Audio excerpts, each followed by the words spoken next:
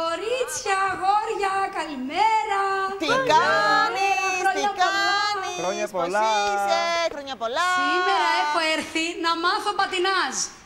Πατίνας, Είναι, το ξέρω, το θέλουμε. ξέρεις. Δεν ξέρω, Κωνσταντίνα, και άμα πέσω, Ότι- γελάστε ελεύθερα. Όταν ήταν παιδιά της μόδας στο Dancing on Ice, είχαν φτιάξει Ναι. παντού παγοδρόμιο. Ναι.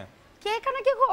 Άκου το. Όπως Έχεις το- Γι' κάνει αυτό και επειδή και μαθήματα. εγώ ζήλευα τότε Ναι. που το έβλεπα το Dancing on Ice, σήμερα ήρθα να μάθω και έχω δίπλα μου την Άννα Χατζιαθανασίου που είναι πρώην πρωταθλήτρια Ελλάδος και διεθνής κριτή σήμερα να μου μάθει και να με κρίνει. Καλησπέρα, καλημέρα. Καλημέρα σε όλους, χρόνια πολλά.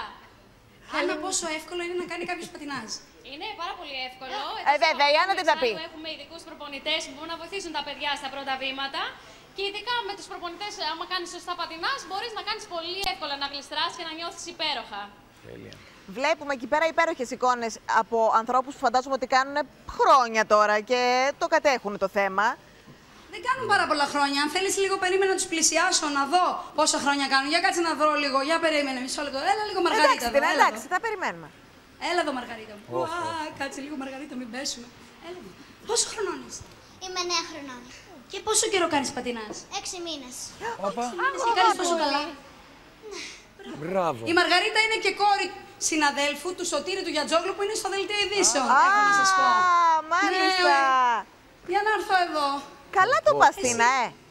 Ε, σε λίγο περίμενε. Μου μόλις πέσω που θα γελάτε, εκείνο του μου το πεις. Όχι, μην το κάνεις αυτό. Κάνει και Πόσο τέλειο καιρό κορμί κάνεις το εσύ πατινάζ. πατινάζ. Ένα χρόνο.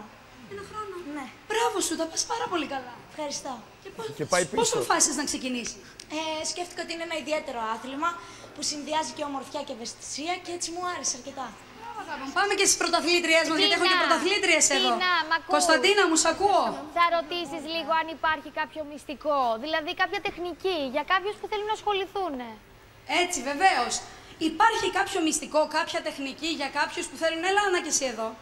Έλα να μας τα πεις κι εσύ. Υπάρχει κάποιο μυστικό, κάποια τεχνική για κάποιους που θέλουν να ασχοληθούν με το πατινάζ. Καταρχάς, κάποιος θα πρέπει να ξεκινήσει με αυτοπεποίθηση, να μην φοβάται, γιατί είναι απόλυτα ασφαλές. Και με ένα καλό δάσκαλο που έχουμε εδώ στο Athens Heart Nice Arena, πολλού καλούς δασκάλους, μπορεί να κάνει τα πρώτα βήματα και να μάθει με ασφάλεια. Γιατί Και- είναι απόλυτα ασφαλές και άμα πέσει στον πάγο, Και άμα πέσεις, Και άμα πέσεις, οι προπονητές μας μαθαίνουν να σηκωνόμαστε και οι τούπες είναι μέσα στο πρόγραμμα εξάλλου.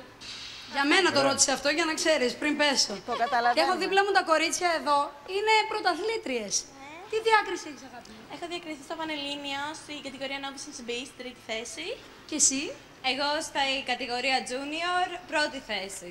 Μπράβο ρε κορίτσι. Και πού είναι ο Κωνσταντίνος ο πατενέρ μου; Έχω και ένα πατενέρ, μισό λεπτό. Καλά τα είπατε. Πάμε τώρα. Όπα. Να δούμε γιατί έμαθες, ε. Τι έμαθα, για πάμε. αυτός που Έμαθες κάνετε σήμερα μαζί πράγματα. πατινάζ είναι ο πατενέρ. Είναι ο πατενέρ μου. Πα- Πάρτενερ, πάρτενερ. Πώς με βλέπεις Κωνσταντίνα; Θεά, Πάρτε όπως ναι. τα έλεγε και ο Ψινάκης. Λοιπόν, Πώς με βλέπετε; Ας την μόνη της. Μόνη μου. Ναι, Παύλο, ρε, θες να Τίνα. γελάσεις, ε; Α, Ποντικοπαγίδα σου Εδώ, στήθη. εδώ κολλάει η ποντικοπαγίδα. Έλα, Τίνα.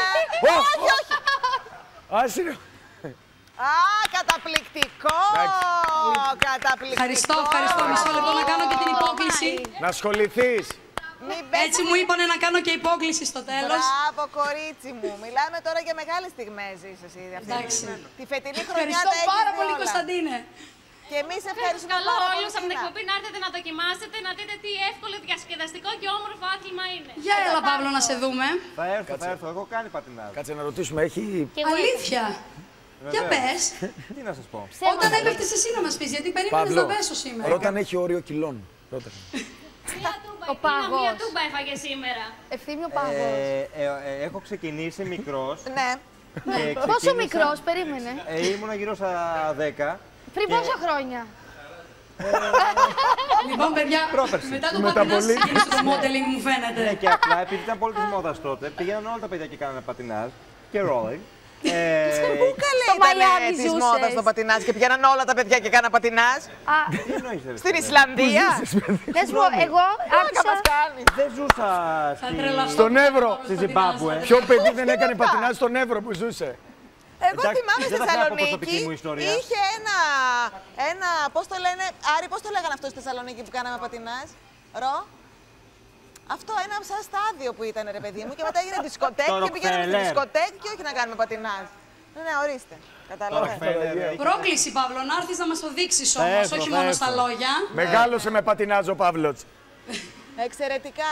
Τέλεια. Ε, σας ευχαριστούμε πραγματικά θερμά. Εμείς.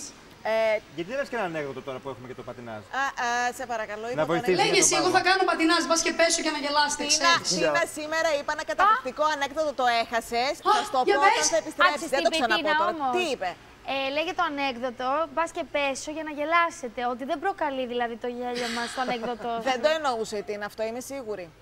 Αυτό είναι. Μπερδεύτηκε. Εγώ έτσι εντάξει, εντάξει. κατάλαβα. Σε αγαπώ, Τίνα, το ξέρεις. Εγώ δεν ακούω σε τέτοιες περιπτώσεις. ναι, δεν, δεν ακούω. ακούς, δεν- δεν ακούς, Δεν δεν ακούω καλά τι λέτε. Σε Ας την ευχαριστούμε πολύ. ευχαριστήσουμε. Σας ευχαριστώ.